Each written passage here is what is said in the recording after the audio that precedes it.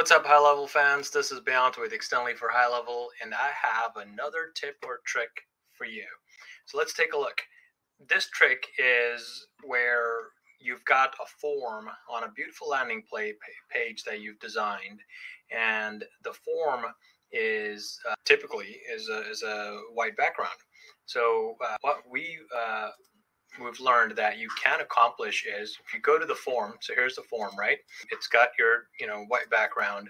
So you can go under styles and uh, click on the color right here.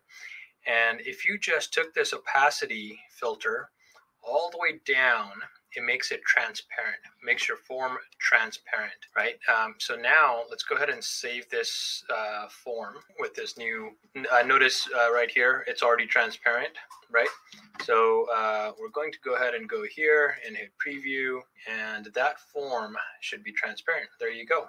So that white has gone away. The border is still there. You know, of course, you can remove the uh, the border as well. Save it.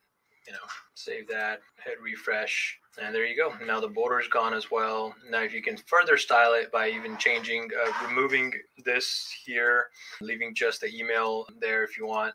Uh, but yeah, so that's that's all for today's tip or trick of how to make a form transparent um, without any CSS at all. So you can have it fit right into your uh, beautiful uh, funnel design or landing page design or website design without any uh, additional CSS being involved. Hope you enjoyed that. Uh, don't forget to join us on Facebook. Um, to do that, go to getextendly.com slash Facebook. That's getextendly.com slash Facebook. And we'll keep posting more tips and tricks just like this one. Thanks. Take care.